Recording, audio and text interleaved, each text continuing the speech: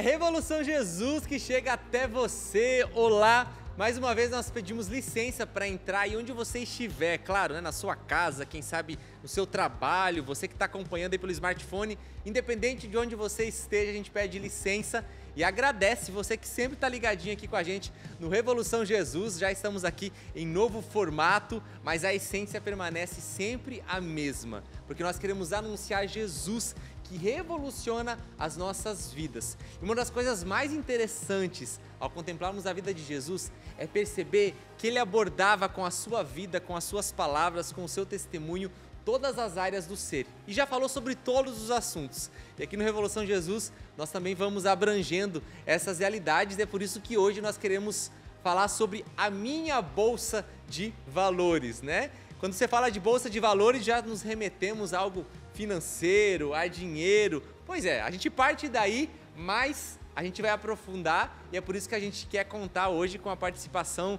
dele, que é um perito aqui em finanças, entende tudo de dinheiro, né? Pode não ter tanto dinheiro, mas entende sobre. Né?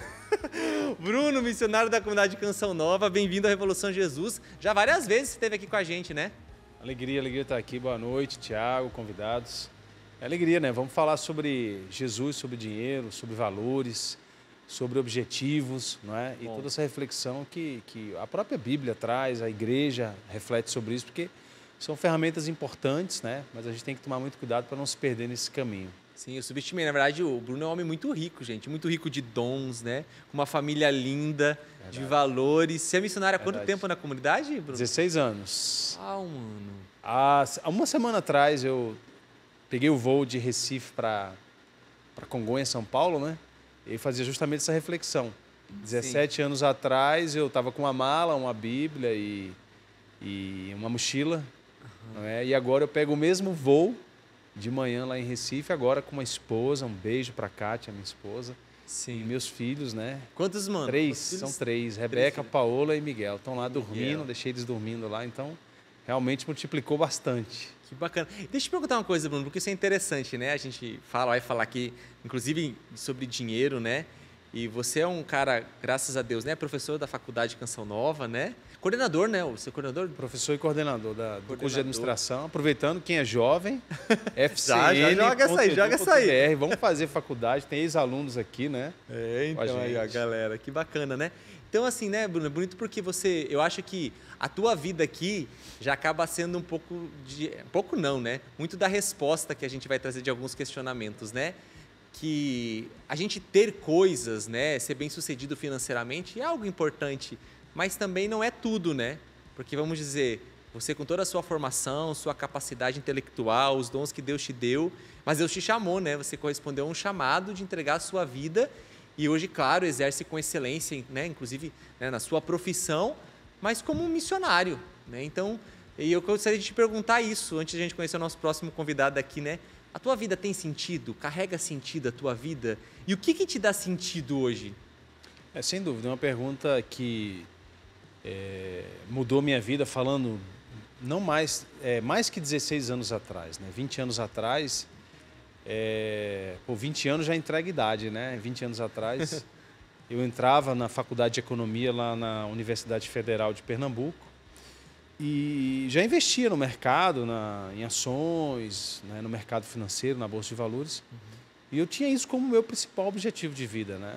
É, então eu dormia, acordava, respirava isso, né? Junto com meus amigos. Então era era o meu universo, não é? Uhum. Qual ação que ia subir, qual ação que ia cair é, qual a próxima jogada, a inflação, o PIB. E aí me encontrei no momento da minha vida, né, que isso perdeu o sentido. Perdeu o sentido, uma série de fatos que aconteceu na minha vida naquele momento, né? Sim. É, na época existiam a, as Torres Gêmeas em Nova York, né? Uhum. E houve aquele terrível acidente é, das Torres Gêmeas, os aviões atingiram as Torres Gêmeas, né? Quem é mais jovem nem, nem, nem viu isso ao vivo, né? Mas põe lá no YouTube depois você vai encontrar é, no ataque terrorista de 11 de setembro. Então, quando aquelas torres gêmeas caíram ali, na mesma época, né, é, a minha faculdade entrou em greve, eu fiquei um tempo sem estudar, porque era a Universidade Federal, então fiquei meio assim, é, é, sem um pouco de rumo, né, a faculdade que eu tanto amava de economia. Então entrou em greve, depois eu terminei o namoro, depois eu saí da empresa, depois meu Série cachorro morreu. Até ao mesmo tempo, foi. meu time caiu para a segunda divisão, Esporte Recife. Então, Ixi, aí complicou. Foi um mesmo. conjunto de coisas ali. E aí me fez refletir que aquilo ali, alguma coisa estava faltando na minha vida. Uhum. E aí depois entrou a canção nova, entrou Deus, entrou é, é, o sentido maior da minha vida, né? Então, é, a minha profissão foi renovada por esse momento, né? Deus entrou ali nesse momento. Então, eu continuo exercendo, ensino isso, leio sobre isso respiro isso, mas com outro sentido, não é? Uau. Fazer da, do dinheiro uma ferramenta, tudo custa dinheiro. Uhum. Tem um economista muito é, muito caro que ele dizia there is no free lunch, né? Não existe almoço de graça. Falo sempre para os alunos da faculdade, né? There is no free lunch. Nada de graça. Nada de graça. Então esse microfone aqui, é, esse equipamento que você está usando em casa, então tem que usar o dinheiro. É Sim. preciso, as coisas custam. Não existe almoço de graça. O pessoal brinca, né? Ah, vai ter um vai ter um evento na cidade é de graça, não. Custou alguém pagou. Alguém pagou aquilo, não é? Então, Verdade. se alguém pagou, a gente precisa se debruçar sobre isso, né? Sim. Com a luz e os valores, né, que Deus nos dá. Legal. Olha, se assim eu posso dizer, é que também a gente é rico, né, a gente poder compartilhar hoje. Temos um contraponto, né? Se por um lado a gente tem o Bruno que já tem aí um itinerário aí, já tem uma, um, né, já trilhou um caminho, né, já tem definida aí a sua profissão, a sua vida, inclusive vocacional, enfim, já tem família. Nós temos também aqui agora o João, né, que está aí desbravando, inclusive esperando, né, um retorno aí. João, bem-vindo aqui ao Revolução Jesus. Obrigado por ter aceito o nosso convite. Não, eu que agradeço. Para mim é uma alegria, uma felicidade poder estar aqui com vocês. Que legal. E também poder evangelizar por meio da, né, dos meios de comunicação. É uma alegria também poder estar aqui, o pessoal que está em casa. Tem quantos anos, João? 18. 18 anos. Isso. E aí a gente estava conversando um pouquinho aqui enquanto nós vínhamos para cá, né? Você fez vestibular recente. Fiz. Prestou para quê? Para engenharia civil. Engenharia civil, agora está esperando aí o resultado, né? É, esperando aí no final do mês. Uhum. Né, para a Universidade Estadual Paulista, né, campus em Guaratinguetá. Sim. E se Deus quiser, né, a gente já começa a estudar esse ano.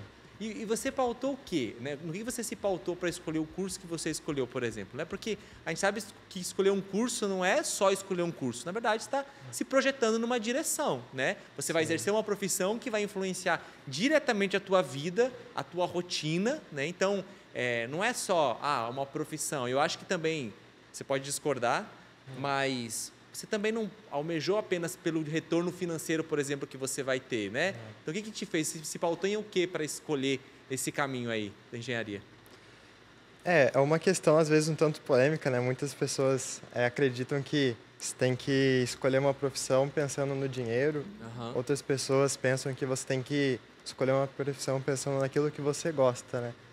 É, eu acredito que não é bem assim pelos dois caminhos, né? Não é pelo dinheiro, né? Porque o dinheiro não é a finalidade de todas as coisas, mas também eu tenho que tomar cuidado para não é, não pensar no trabalho, numa profissão como algo de um momento de lazer, uma coisa que você tem que fazer para se divertir, uma coisa que simplesmente dá prazer. Não é isso. Uhum. É, então, quando você vai escolher uma profissão, qualquer pessoa tem que pensar não aquilo que eu quero para mim, mas aquilo que Deus quer para mim. Uhum. Eu acho que isso faz uma diferença muito grande, né? Aí você perguntando por que que eu eu tomei essa decisão, né? Desde criança, eu, eu lembro disso até hoje, né? Com muito carinho guardo essas memórias, né? Ah. Às vezes eu andava de bicicleta na rua, passava pelo carro, eu via um prédio, uma casa grande, aí eu olhava e ficava parando assim, olhando. Deslumbrado. Deslumbrado, exatamente. E aí eu ficava pensando, poxa vida, quem que fez esse prédio? Quem construiu essa casa, né? Todo mundo olha o resultado final, mas ninguém sabe quem fez. Sim. Eu tive, né, esse desde os meus 14, 15 anos que começou a despertar isso em mim. Falei, poxa vida, eu também quero construir uma coisa grande. Quero ah. fazer algo que seja maior do que eu. Uhum. Né? Eu vou crescer e tal, mas um dia eu não vou estar mais aqui. Né? Um dia eu vou morrer como todas as pessoas. E eu gostaria de deixar alguma coisa que ficasse. Uhum. Né? Então, desde, né, desde cedo eu tive esse, esse desejo, essa vontade. Então, por isso que eu, eu escolhi esse curso. Né? Fui crescendo, fui vendo as minhas habilidades, os meus limites, naquilo né? que eu tinha predisposição para fazer. Certo. E eu tomei a minha decisão. Isso. Mas interessante, né? Porque você vê assim, na verdade, é uma leitura que precisa fazer desde pequeno, então já existia, né? Quando você fala da vontade de Deus, né? É interessante Sim. porque Deus não nos impõe nada, né? É sempre é um ato livre. E vai, se, vai causar uma identificação, mas já existiu uma semente aí de identificação com algo, sim, sim. né? E claro que através da nossa profissão a gente é dignificado porque o trabalho dignifica o homem, né? A pessoa humana. Se a gente não, não trabalha, se a pessoa é à toa, chega uma hora que ela se esvazia de sentido, né? Sim. Só que aí tem que conciliar, enxergar, peraí, onde eu me identifico? Que bonito que você vai, vai, fez um resgate aí, né, da sua história e, cara, eu quero construir algo maior do que eu, né? Você fala, peraí, a engenharia é, traz isso, essa... né? Traz. Sim. Muito bacana porque ajuda no discernimento, que não é só você olhar, tipo, ah, beleza, eu admiro isso aqui, mas existem aptidões que a gente traz mesmo, eu acho que a gente se conhecer ajuda muito. E claro, sim, consequentemente, sim. vai vir o recurso, vai vir o dinheiro, né? Você vai constituir uma família, você vai precisar de dinheiro, você, né, para ter um até mesmo um conforto, algo. Então acho que é achar esse meio termo aí, né? Sim. Mas Bruno, se a gente canaliza e tendenciona, né, muito para o lado do retorno, estou dizendo, retorno a gente espera, né? Seja da satisfação de estar realizando um trabalho, mas só apenas do financeiro isso é arriscado. Ah, sem dúvida, né? Eu acho que ó, se você observar o mundo à sua volta hoje, você vai perceber é, quantas pessoas querem, por exemplo, dinheiro fácil, é? dinheiro sem esforço. Quantos jovens hoje têm se perdido em joguinhos, não, é? uhum. não vou citar nomes aqui, ou em, em simplesmente uma profissão. Qual profissão paga mais? Qual concurso público paga mais? E não faz essa viagem, né, que o João fala, essa viagem interior, não é? Uhum. É, a profissão que eu escolho, na verdade, é uma viagem muito mais de olhar para mim mesmo e ver onde eu quero servir. E nesse serviço que comporta suor, sofrimento, muito do nosso trabalho não é prazeroso, não é? Muito. É, vi aqui à noite, não é? Todo mundo teve uma jornada o dia inteiro, né? Sim. Né? Trabalhei o dia inteiro, muito, mas eu estou aqui com um esforço, mas também com uma realização de poder contribuir, não é? Com a, com a galera que está acompanhando. Então, o dinheiro pelo dinheiro, quem busca somente o dinheiro pelo dinheiro, uma hora vai se deparar, como eu me deparei, como eu já vi muita gente se deparar. Ele não tem sentido em si mesmo. E a profissão, é, a partir do momento, tem uma frase que diz o seguinte: ah, é, é, dinheiro não traz felicidade. Mas aquelas pessoas que são felizes nos seus, no seu labor, na sua missão, uhum. acabam sendo recompensadas por isso. Legal, legal. Porque ela se destaca porque ela consegue passar do horário. Então vamos lá, o João está falando, falando de engenharia civil. Já que ele gosta disso, já que ele ama isso, embora ele está muito jovem, né, 18 anos, tem um longo caminho a trilhar, pode ser que ele faça ajustes no caminho, não é? Isso é totalmente normal. normal. Ninguém precisa ficar aqui, nossa, eu tenho que descobrir o que eu vou fazer o resto da minha vida. Não. Existe uma trajetória, não é? Mas ele vai conseguir ir mais longe a partir do momento em que ele se encontra com dificuldades, mas consegue avançar. Então, é isso que o jovem precisa entender hoje, que eu também preciso entender. A minha profissão, ela vai ser 90% de luta, de suor, de esforço. E a recompensa, seja financeira, ela é consequência. consequência. Mas ver, no meu caso, por exemplo, como professor, né? Eu digo que eu tenho três profissões: economista, professor e missionário, né? Uhum. É, foi mais ou menos nessa sequência. Em sala de aula, quando eu termino uma aula que o aluno chega para mim e fala: "Nossa, professor, aprendi isso, isso foi tão bom". Cara, isso não tem, não tem nada que pague. Ou alguém que assistiu o programa, né, ou que foi numa missão do Revolução, fala: "Eu fui tocado pela sua pregação". Gente, isso não tem preço. Aí está o retorno, né? Esse é o maior retorno, não é? Essa aí está a riqueza, né? Tá Exatamente, riqueza. é uma grande Legal. riqueza. É. E quando a gente fala, eu falei até no início aqui, né, o Bruno e João, né, o que, que Jesus, olhando para os evangelhos, o que ele deixou dito diretamente ou nas entrelinhas sobre posses, né? Sobre riquezas. Tem aquela famosa passagem bíblica, né? Vou até pedir para a produção colocar aqui, a direção, aliás, né, Natália? Tem uma frase que é interessante, que Jesus fala, né, sobre a questão da, da riqueza mesmo, né? Quando ele se refere àqueles que buscam a riqueza, que os ricos não entrarão no Disse Jesus aos seus discípulos: Em verdade vos digo que dificilmente entrará um rico no reino dos céus, e outra vez vos digo que é mais fácil passar um camelo pelo fundo de uma agulha do que entrar um rico no reino dos céus. Claro que aqui a gente não está falando né, o camelo literal, existe todo um contexto aí simbólico, né? Mas quando Jesus fala da riqueza, que alerta ele está nos dando sobre isso, né? Porque afinal de contas, é, não é pecado ser rico, né? Muita gente, pelo suor do seu trabalho, acaba conquistando muita coisa e Deus abençoa, né? Mas qual que é o sinal de alerta que Jesus está deixando aí para gente? É, é, legal. E essa reflexão de Mateus 19, né? Eu até cito no, no meu livro, é um livro para casais, de finanças para casais, né? Vou mostrar daqui a pouquinho, vou mostrar é, esse livro, que é uma, que é uma riqueza. que é uma riqueza. Mas esse, esse, esse capítulo de Mateus 19, um pouquinho antes ele fala do jovem rico, não é? Que é justamente o tema do meu segundo livro, que é de finanças para jovem, que eu estou aí construindo, mas é daquele jovem que Jesus convidou para segui-lo. Você, você já cumpre os mandamentos, o jovem diz, já, já cumpre tudo isso. Então vai, deixa os teus bens, né? E segue-me. E aí ele diz não. Ele sai muito triste, né? Uhum. Então é esse esse tipo de rico que não é capaz de, de se desapegar, não é?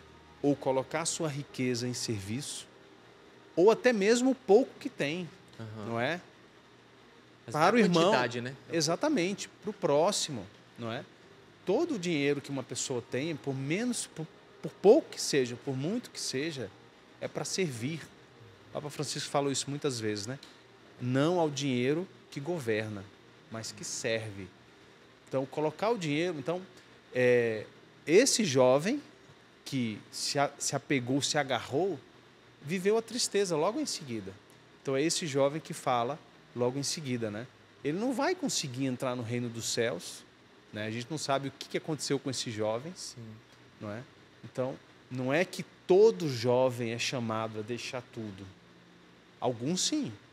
Eu fiz a opção, não é? Hoje eu tenho como missionário a minha casa, o meu carro, tal, necessário. Alguns não são chamados a isso, estritamente isso. Uhum.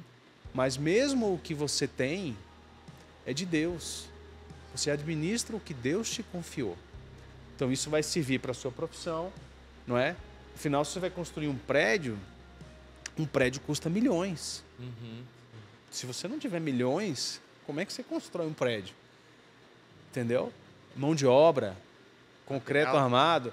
Né? Minha mãe é arquiteta, meu, minha irmã é arquiteta, minha, minha mãe é arquiteta, meu pai constrói. Passei um mês agora vendo construções, eu gosto bastante.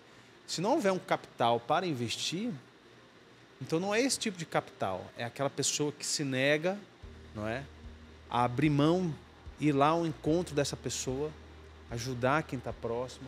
Esse tipo de pessoa não, não, não, faz sentido ela ir para o reino dos céus. Uhum. Mas se ela abre mão, e é claro, é um processo, não é? Talvez eu não esteja pronto agora, talvez eu esteja aprendendo a abrir mão de qualquer coisa, né? Então Sim. acho que é um pouco dessa reflexão. Nossa, sim, sim. interessante. Ó, vou deixar aqui uma pergunta para o João, que o nosso intervalo vai ser rapidinho, né, João? E como, né? A gente está numa sociedade, né? Em grande parte somos estimulados ao materialismo, né? Ao consumismo e ao mesmo tempo você trouxe aqui, né? E já se entregou aqui de um valor que você carrega. Quero fazer a vontade de Deus, né? Cara, eu tenho as minhas aptidões, mas como saber equilibrar? Porque nós somos estimulados o tempo todo, né? a criar necessidades, a ter cada vez mais. E todos nós, gente, sem exceção, independente se a pessoa é milionária ou não, se tem muito dinheiro ou pouco, todos nós podemos viver o apego pequenas e grandes coisas. Como é que você administra essa realidade, né? Vou deixar essa pergunta no ar e a gente volta já já com mais Evolução de Jesus, que hoje nós estamos falando de bolsa de valores. É, mas essa bolsa que cada um de nós carrega dentro de si. E quais os valores que você carrega? Vamos adentrar também nisso no próximo bloco.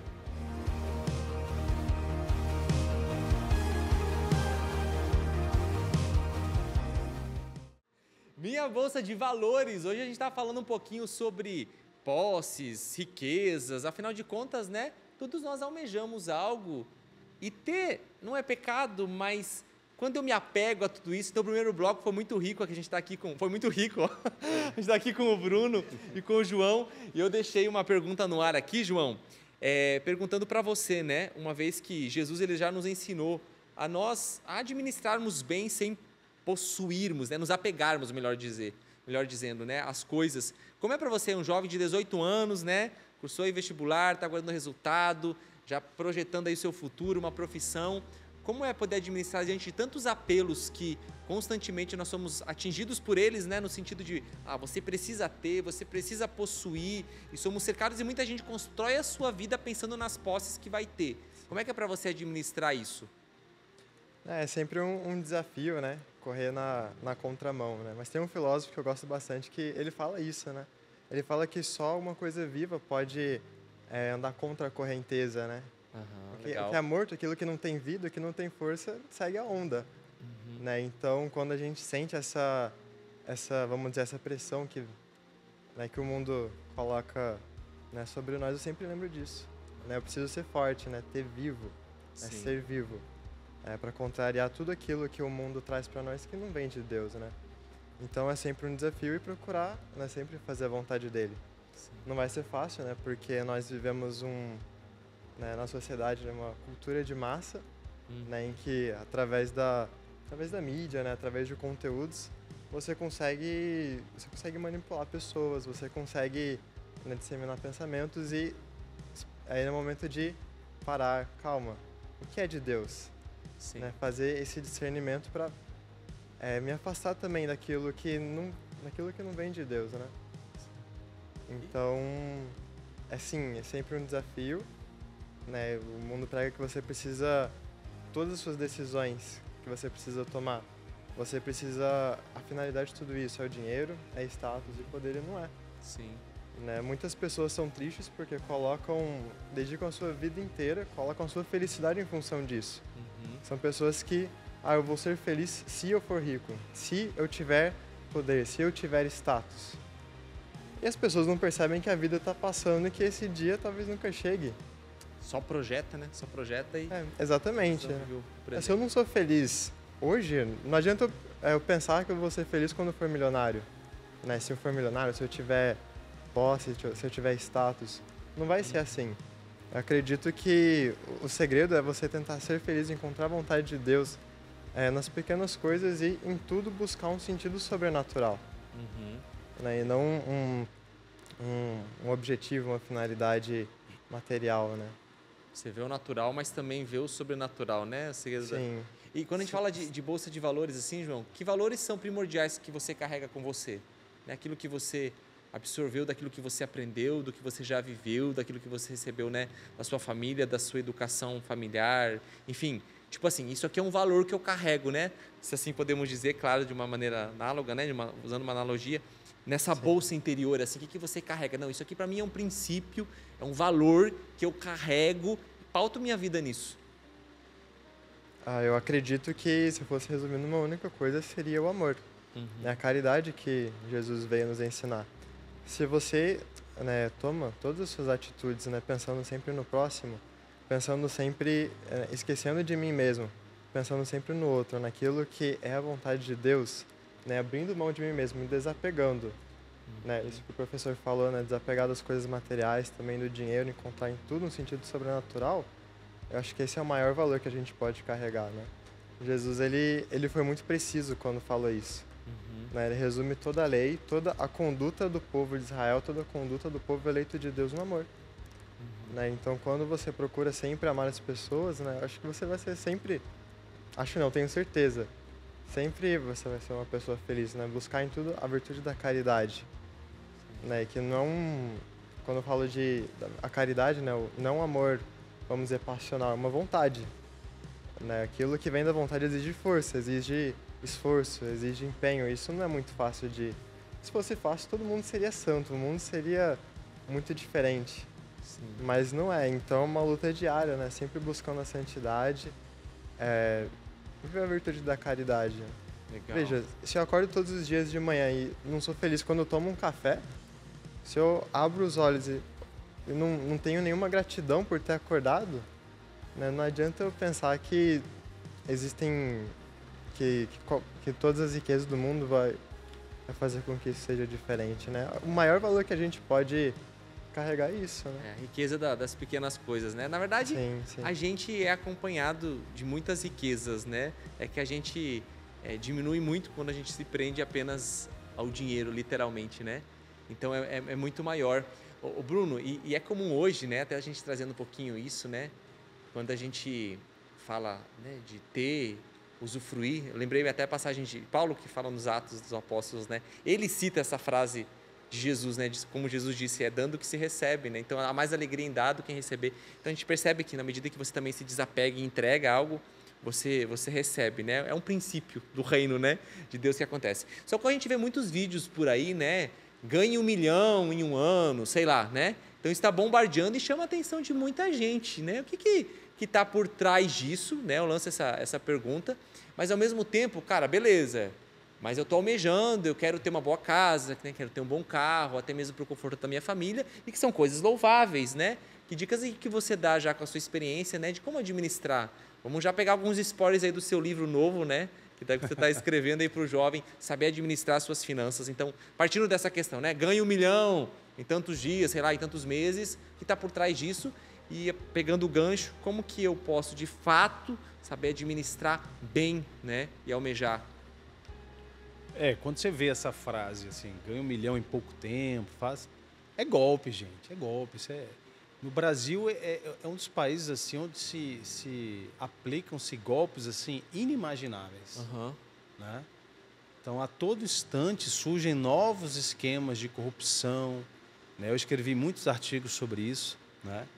É, pirâmides financeiras. Então, é, quando você sentir muita facilidade, né, uma oferta tentadora, desconfie. Né? Eu falo sempre para meus alunos: o mundo é mau. Deus é bom, Deus é misericórdia, mas o mundo ele quer roubar o seu dinheiro, o seu também, de qualquer um que der o menor vacilo. Então, é, é, recentemente, uma série de games aí certo? Foram envolvidos em vários problemas, estão muito jovens jogando ali, achando que vão ganhar, começam a colocar ali os centavos, os reais e daqui a pouco gastando mal parte do tempo, ao invés de estudar, trabalhar e querer ganhar o dinheiro da forma correta, não é? Fica perdendo tempo aí. Então, quando você vê uma via muito fácil, né, você já desconfia. Sinal de alerta aí, né? E não pega só os jovens, não adultos, idosos. Então isso, infelizmente, no Brasil é muito comum, tá? É, agora, é preciso também ter um plano de vida, ter uma estratégia de vida, não é? Onde é que você quer chegar? Estamos aí, hoje é dia 22, não é isso? O ano já, o ano passa rápido. Onde você quer chegar? Se você não tem essa pergunta muito clara, você vai ser bombardeado de propostas, não é? De, de informações. Se você não tiver uma meta clara, onde você quer chegar, na sua capacidade intelectual, na sua capacidade espiritual, não é? no seu relacionamento, se você não tiver isso muito claro, você vai passar um ano inteiro ali dando voltas, né? sempre faço esse exercício com os alunos na faculdade. Qual a sua meta para o ano de 2024? Você tem que escrever. Tem que ter meta, isso é importante. Não Você tem que ter meta, e meta arrojada. Meta que vai te fazer sofrer, né? Recentemente um, um, um colega, né, que é muito bem profissionalmente, mas ele estava engordando bastante. A profissão estava... Ele falou o seguinte, olha, eu preciso perder 10 quilos para eu viver, senão eu posso morrer, literalmente. Então, é, é, falando desse ponto de vista de como administrar bem as finanças desde cedo, né? A gente tem que ter educação financeira. O jovem brasileiro, o Brasil como um todo, é, as pessoas não possuem educação financeira, não receberam. É, a, só recentemente as escolas estão passando isso para as crianças. Então o brasileiro ele começa a ganhar o primeiro salário e vai gastando. E existe uma corrente de consumismo muito forte, uhum. não é? Então nadar contra a corrente é nadar também contra o consumismo e, e entender que tudo é feito como uma isca para me para me capturar. Então, hoje à noite, antes de dormir, amanhã de manhã, quando você acordar, novas, novas e tentadoras ofertas de novos produtos que você nem sabia que existiam, mas que foram criados, que você vai gostar, que você vai querer comprar, vão chegar até a sua mão. Sim. Então, se você não tiver essa meta, esse autoconhecimento, essa capacidade de entender que nem tudo é consumo, que consumo não traz felicidade, ele é simplesmente um meio para suprir as minhas necessidades e, claro, algumas, alguns prazeres, alguns confortos são normais. Então, o jovem precisa entender. Não pensa agora assim, como um jovem, recentemente um jovem falou para mim aqui na Canção Nova, pediu atendimento, né? Uhum. Olha, eu queria muito ter uns brinquedos assim. Eu falei, que tipo de brinquedos?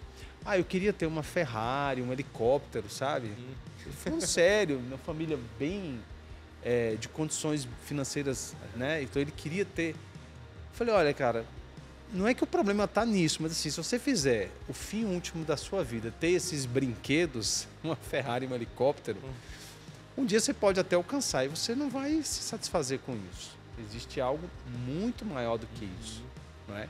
Então tem pessoas que têm brinquedos caros, outros não têm. Nem por isso você vai parar a sua vida, Sim. não é? Nem por isso também você não vai correr atrás. Você não vai acordar cedo.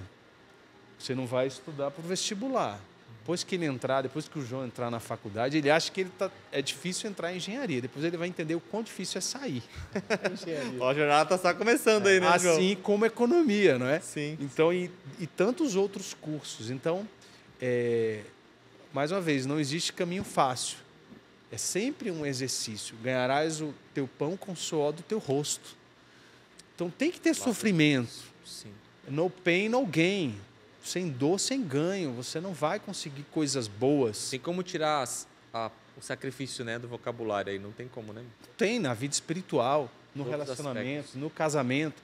Tá aqui um, um câmera aqui, acabou de falar comigo, né? Não vou dar o nome para não dar, para não dar, é, para não indicar quem é, mas meu filho nasceu, eu precisei ajustar toda a minha vida. Sim. Então você que vai casar, pensa em ter filhos, você vai ter que ajustar toda a sua vida você vai fazer esse sacrifício. Então, na vida financeira também é isso, na vida espiritual é isso. Sim.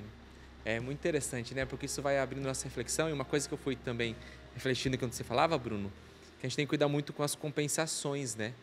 Porque às vezes eu vou tentar compensar no material, no ter, aquilo que está me faltando no relacionamento, na, no, na dimensão espiritual. Então, sempre, eu sempre trago isso comigo, assim, reflito e já compartilhei com outras pessoas. Quando eu exagero muito numa dimensão do meu ser, pode perceber que eu estou compensando algo. Por exemplo, ah, o meu corpo é o meu centro, então eu só cuido do meu corpo, invisto no meu corpo, minha vida gira em torno do corpo. Precisa ser cuidado, fato.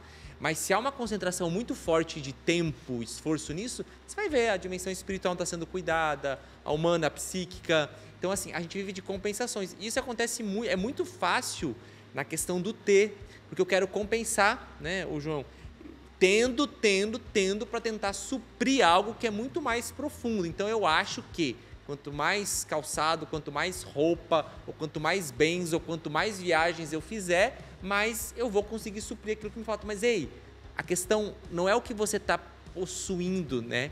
É, é, é onde você está investindo, qual dimensão. Então, bem, a minha dimensão espiritual, não estou não dando devida atenção, não vai ser o material que vai compensar isso. Como as outras pessoas podem ir para outro extremo. Eu foco só no espiritual e eu sou um desleixado, enfim. Então, é, é encontrar, né? A virtude está tá no meio, esse equilíbrio mesmo que a gente precisa encontrar. Então, cuidar com as compensações. E digo isso para todos nós. Em todas as áreas. Estou trazendo material aqui, mas pode acontecer em outras dimensões, né? Alguém pode, inclusive, compensar no espiritual aquilo que não quer assumir de responsabilidade no material, por exemplo tenho que trabalhar, eu tenho que suar a camisa, eu tenho que conquistar coisas até mesmo para projetar um futuro, né? Então tem que tomar cuidado. Mas olha, gente, tudo isso que a gente está falando está sendo muito rico, mas o tempo aqui é muito curto para a gente conseguir aprofundar em todas essas realidades. Eu quero trazer uma dica aqui, inclusive o Bruno até citou, né? Eu tenho um livro incrível aí destinado aos casais, né, Bruno? E com certeza já ajudou muita gente. E queria que você falasse um pouquinho desse livro e também você falasse um pouco mais sobre esse outro livro, esse outro trabalho que você está fazendo aí também pensando para os jovens. Ah, legal. Esse livro que eu escrevi o ano passado, né? Ele foi fruto de muitos atendimentos, né? De casais, uhum. casais jovens, casais maduros, recém-casados.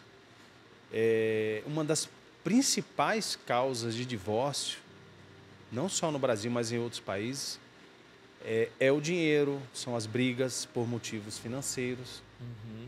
E eu entendo que o divórcio é um dos problemas mais graves na humanidade. Uhum. Se fala muito, o problema são as famílias, né? Mas o núcleo da família é o casal. O mais importante não são os filhos. É o primeiro o casal tem que estar bem para que os filhos estejam bem. Uhum. Pergunte para filhos cujos pais se separaram como foi a experiência. Muito traumática. Então eu quis contribuir nesse sentido. Eu vi que é, na literatura financeira existiam muitos títulos Né? Você que pensa em casar, você que é jovem, você já é casado, está tá noivo. Existem muitos títulos ensinando o casal a ganhar dinheiro, mas sem colocar ali a espiritualidade. Não é? Que eu estudo isso, inclusive, no meu doutorado. É, a minha tese era justamente sobre isso, não é? Eu, eu trato do livro é, a questão espiritual.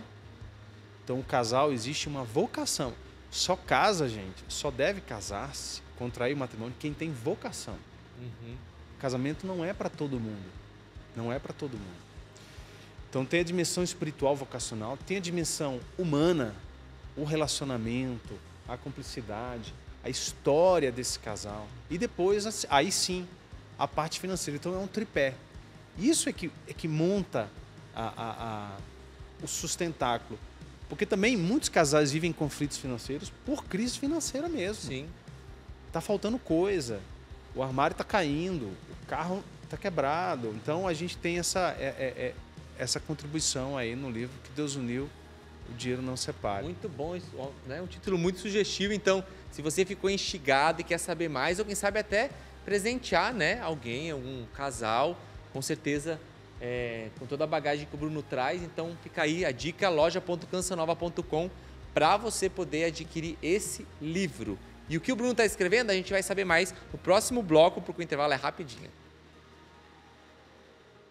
É Revolução Jesus, a gente está junto e muito obrigado por você que sempre está aqui na sintonia. É muito bacana quando a gente encontra várias pessoas aqui, né? Pela Chácara Santa Cruz, aqui na Canção Nova, ou nas missões que a gente vai. Olha, eu acompanho toda segunda-feira.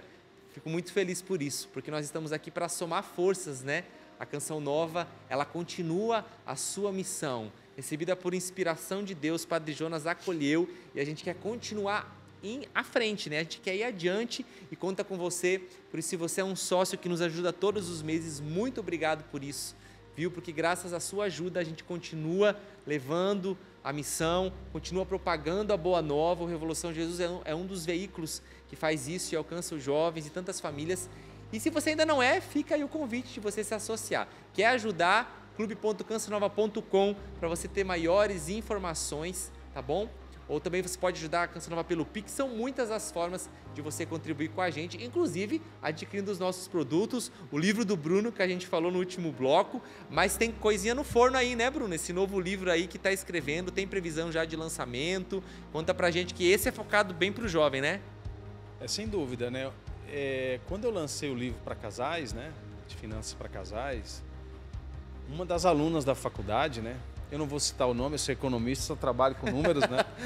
mas exato, ela, ela trabalha no call center, ele fala, ah, vendi seu livro e tal, mas tem que escrever um livro para jovem agora, porque eu tô quebrada, eu tô muito endividada. Ah, então partiu aí de uma provocação, é, então. Eu, eu, escreve um livro, Jovens Endividados. boa, boa. Assim mesmo. É, e aí eu fui, pensei nisso, depois ela ficou insistindo, outros, outros alunos falaram, né? Ah, professor, a gente está com muita dívida. E realmente é uma escravidão, a escravidão dos tempos né, que a gente viu na história, lá dos anos do século é, 16, 17, 18 e muito antes disso também, aquela escravidão de, de, de né, dos navios e tal, ela, a escravidão moderna é a dívida. Então muita gente deve bastante. Isso, Muitas empresas devem, os países devem. E muitos jovens já começam a vida devendo bastante sem necessidade. Quando a gente é jovem, é, é o momento da gente poupar, é o momento da gente investir. Investir a vida, quem tem uma vocação religiosa, investir toda a vida. Quem tem uma vocação profissional, médico, engenheiro, economista, professor, investir a vida. Mas é o momento de você gastar o mínimo possível. Mas as ofertas de consumo são, assim, muitas, né? é, infinitas que você imaginar, existem ofertas. Então, o jovem já começa a vida, às vezes financiando a própria faculdade, não consegue pagar e vai fazendo da vida uma bola de neve. Ele quer ganhar, ele quer profissões que remunerem bem para manter o seu status de consumo, uhum. de coisas muitas vezes desnecessárias, né? Certa vez um aluno, ah, eu, minha vida é para pagar meu celular, meu smartphone de 5 mil reais que eu inclusive já derrubei no vaso sanitário, parou de funcionar, eu estou pagando e nem tenho mais. Quer dizer, mas por que, que você gastou 5, 10 mil reais no smartphone? Você precisa disso? Não, é porque meus amigos têm, então tem que ter, entendeu? Então, o mundo de consumo, não é? O jovem não pode ver esse consumo agora. Ele tem que investir. Vai comprar livro, vai fazer cursos, vai investir em conhecimento. É, não precisa do, de um carro zero, para quem está pensando.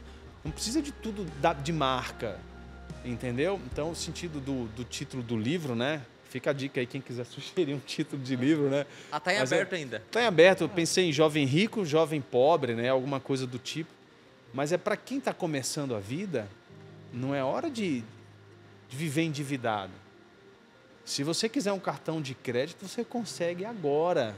Se seu nome tiver negativado no sistema financeiro, nome sujo, você consegue mesmo assim. Então tem crédito abundante. Porque mais uma vez, o mundo é mau, ele quer que você se endivide para que você faça da sua vida para que você pague juros e faça disso uma bola de neve. E uma vez dependente do consumo, não é? Quer dizer, um exemplo clássico eu sempre tenho que me divertir num shopping. O que, que é shopping? To shop, do inglês. É comprar, é um centro de uhum. compras, é um centro de lojas. Tudo ali é para você gastar. É quase impossível você entrar num shopping e não gastar. Tem que ser de uma caixinha de sorvete, você vai. Não é? Então ali você vai lá. Então, existem outras alternativas de entretenimento, parques, é, florestas, Sim. praia. Existem outras formas de você curtir. Correr, eu gosto de correr. Coloca um tênis, vai correr, vai pedalar. Uhum. Então existe um mundo fora do mundo de consumo. Então você que é jovem, que acha que tudo é, é em sua volta, se eu não consumir, eu não vivo, não, isso não é real. Você que é jovem, tem ali entre 15, 25, 30 anos, é hora de você se gastar, é hora de você crescer, e o dinheiro que você consegue juntar, investe esse dinheiro para que isso possa retornar na sua família, lá na sua, na sua fase mais na frente. Então, é um pouco dessa reflexão. Que bom. E colocar o sentido de Deus também.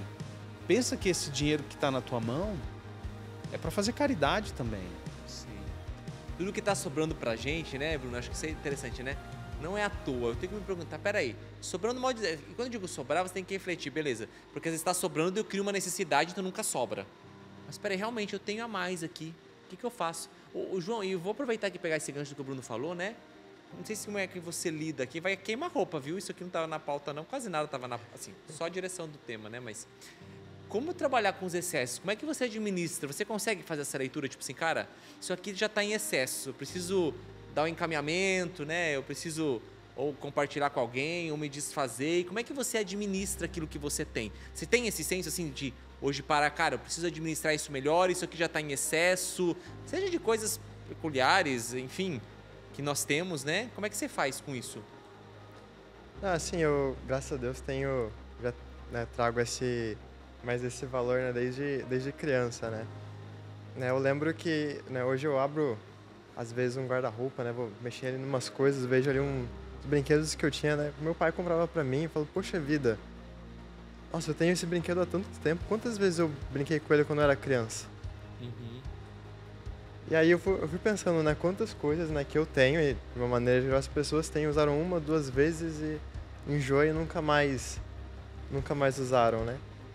E aí eu fui descobrindo, né? Meus pais sempre me ensinaram, João, você precisa ter aquilo que é o necessário. Não queira ter muito, não queira ter além disso né? Mas para o mundo moderno isso parece uma, isso parece ofensivo, né? Uma opressão. Uhum. Nossa, ficar só com aquilo que é necessário, mas não é, né? Porque né, esse, essa cultura, né, de status, né, de, de poder, de riqueza, ela, é, esse mundo, essa cultura materialista, ela atingiu um, vamos dizer assim, um patamar que é, fere também a nossa própria personalidade.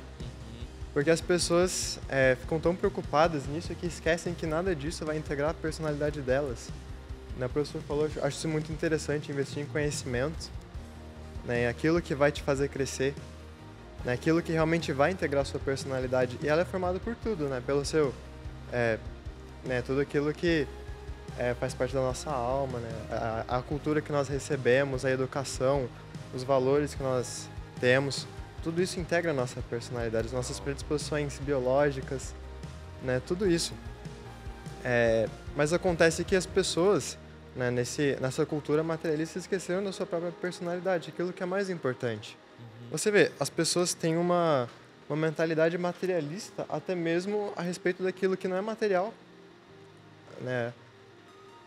Enfim, eu, a gente na escola escuta muito isso, né? Professor, por que, que eu vou é, por que, que o senhor está ensinando isso? Para que, que eu vou usar isso na minha vida? Mas espera aí, o conhecimento, a finalidade do conhecimento nela não é prática. Não é uma coisa que uma ferramenta que você usa e depois você joga fora. Não, uma coisa que você integra a sua personalidade, uma coisa que faz você ser uma pessoa melhor. Ah, legal. Né, e essa visão, né, ela entra em todas as coisas, né? Inclusive, né, principalmente, né, quando entendemos isso na nossa personalidade, fica muito mais fácil aplicar naquilo que é material. Se eu tenho uma coisa, eu sei que eu não vou usar, não tem sentido algum eu manter isso para mim. Uhum. Né? Tem tantas pessoas passando por necessidade né? e tem tanta, fico pensando, né? Tem tanta coisa em abundância, né? Sim. Mas a gente vai é só andar por qualquer rua e você vê pessoas passando por necessidade. Por que isso? Né? Uma, uma vez eu aprendi com aí. Né? Eu aprendi isso com, com um padre, né? Se se está sobrando, isso não é seu. Sim. Né? Existe alguém que está precisando daquilo. Né? Então dedique a caridade, né? Eu pego ali uns brinquedos que eu tenho, dá para uma criança menor. Eu não vou usar isso, está lá guardado, né? Já não brinco mais. É. Não, você isso abre... é ensinado, né? Se você, uhum. se você pra partir da, da, da cultura moderna, contemporânea, isso não é ensinado. Ensinado é comprar, descartar e comprar outro. Comprar, não é ensinado a você trocar, a você doar, a você. Você não. Você precisa de tudo aquilo que você tem. Porque veja bem, é, tem uma aula que eu, que eu costumo passar para os alunos, dependendo da disciplina, que fala assim da década de 30, é, que complementa isso que o João falou. Quando o mundo entrou num grande colapso, falando de bolsa de valores, né? Acho que muita gente já ouviu falar da quebra da bolsa de valores de 1929, o Dow Jones, a New York Stock Exchange, ou seja, quando a bolsa americana quebrou, isso afetou o mundo inteiro, Brasil, né? É, Para sair dessa crise, o governo americano criou um, um, programa muito engenhoso, né? Que foi o, o, o famoso American Way of Life, o jeito de ser, o jeito de consumir como os americanos, é, que teve o seu valor para reativar a economia, não é? Porque a economia estava em uma profunda depressão, uhum. não é? muitas pessoas é, passando por grandes necessidades. Isso teve o seu valor para reativar a economia, mas criou uma sociedade não de necessidades, mas de consumo. Então eu não, eu não compro porque eu preciso, eu compro porque eu desejo. Eu compro porque eu me projeto. Está linkado não a uma necessidade, mas a um desejo. É, as pessoas trocavam de sapato antes desse essa grande engenhosidade quando o sapato se rasgava. Hoje o sapato comporta a sua personalidade. Por quê? Porque é um desejo, é um imaginário. Então, o sonho americano, American Dream, se espalhou pelo mundo inteiro. Teve seu valor naquele momento, mas hoje a gente vive as pessoas se projetando dentro de carros, dentro de imóveis, em viagens, né? Estimulados o tempo todo para Uma grande cidade do mundo hoje é Dubai, que é um centro de, uhum. de, de, de, consumo é, sem razão, sem, sem sentido. Claro, gera empregos e tudo mais, mas assim, é um grande centro de, de esbanjamento de dinheiro. Em a, a poucos quilômetros você tem conflitos, você tem. Então o mundo de hoje é um mundo de consumo, por isso. que o ser humano foi ensinado. Então a criancinha já nasce é, voltada especialmente para desejar. E esses desejos não têm freios. Uhum. Por quê? Porque tudo está ao alcance da mão, do clique, do consumo. Então é um ah. pouco disso aí que eu quis trazer esse contexto. Olha, e a gente, meu Deus, muitas abas abertas e aparece a plaquinha de encerrar. A gente tem que dar tchau daqui a pouquinho. Mas só uma coisa quando vocês falavam, é uma aba que eu abro e fecho rapidinho, mas depois em casa você pode abrir e refletir também, porque eu fiquei refletindo. Porque muitas vezes o possuir é a maneira que eu encontro de ter segurança, né? No mundo que é tão instável, porque eu não tenho controle do que vai acontecer no mundo, às vezes é ilusório eu achar que eu tenho, né? Então as pessoas acham que, por mais que o dinheiro vai exercer uma influência, né, que eu posso ter recursos e posso chegar a lugares e posso contratar coisas, mas às vezes o possuir traz uma, uma, uma ilusão de segurança. Não que não dê em alguma área, em algum aspecto, mas é como se fosse uma segurança meio que inabalável. Então eu vou ter, só que a gente está percebendo que não. Por exemplo, recentemente, uma pandemia mostrou para nós que, independente, claro, quem tem pode ter um pouco mais de conforto, mas não estava na mão. Eu podia ter, então, assim, né? Poderia ter o dinheiro, mas ainda não se tinha, até no início, né? O tratamento que pudesse comprar. Entende? Então, assim, são coisas, um exemplo né, que eu trouxe, claro, foi muito triste do que nós vivemos. Mas para dizer que nem sempre, né? A ilusão de que o dinheiro aposte é uma segurança que eu vou ter. Então, se nós nos apegamos muito a isso, nós corremos um grande risco de realmente nos frustrarmos facilmente. Bom, eu paro por aqui porque não tem mais tempo. Bruno, muito obrigado, viu, meu irmão? Muito obrigado aí por compartilhar seu conhecimento. Fica aí é, um gostinho de quero mais, de você poder voltar aqui em outras ocasiões para estar com a gente. Então, valeu, muito obrigado mais uma vez, viu? Alegria minha, um abraço para toda a galera aí. E sempre bom estar aqui no Revolução Jesus. Pronto, que seja um ano de 2024 cheio da sua presença. João, primeira de muitos, se Deus quiser, valeu mesmo, viu, por compartilhar a sua experiência, muito rica, inclusive. É, amém, eu que agradeço a oportunidade, né? Fico feliz em poder estar aqui com vocês nesse momento. E você de casa fica sempre ligadinho com a gente, viu? Vem coisa boa ainda aí no Revolução Jesus durante todo esse ano, tem mais coisa para a gente implementar e trazer aqui no programa. E é muito bom saber. Na verdade, a gente só está aqui, o sentido de estar tá aqui é porque você está aí sempre com a gente. Um grande abraço, até a próxima. Valeu!